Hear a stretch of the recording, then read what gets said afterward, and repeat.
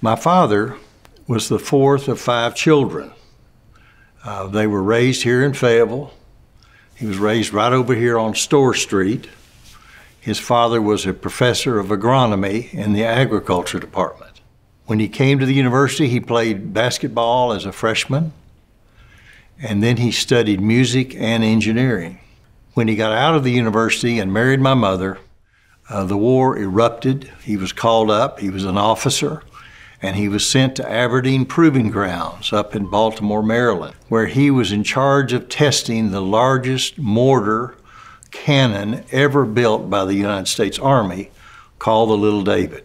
Then he came back to Arkansas and formed McClelland Consulting and Construction Company. Well, growing up in Fayetteville, we were so immersed uh, with the university, my grandfather teaching, uh, my, my, my parents having gone to school here, and going through the campus every day to high school, it was just a natural thing. As young people, we would uh, sell programs and soft drinks at the football games. So we attended all the games and we were just, it was just part of the community.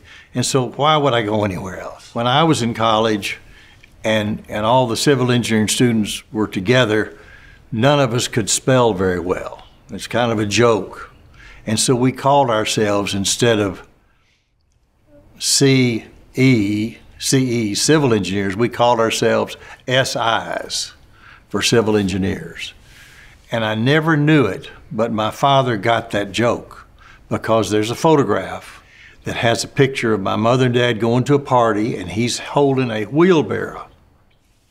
And the caption at the bottom of the picture says, SI at work. When I graduated um, in 1967, I went in the Army Reserve on active duty.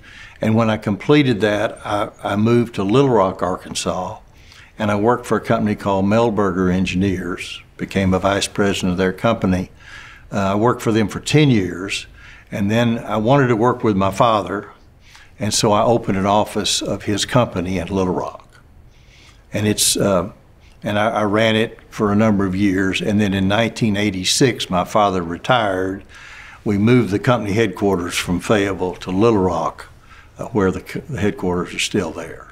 And a guiding principle that I learned uh, early on uh, is that what keeps me interested in engineering in Arkansas is because we work in different places for different people doing different things. And so it, it just keeps your interest up because there's always a challenge uh, for you.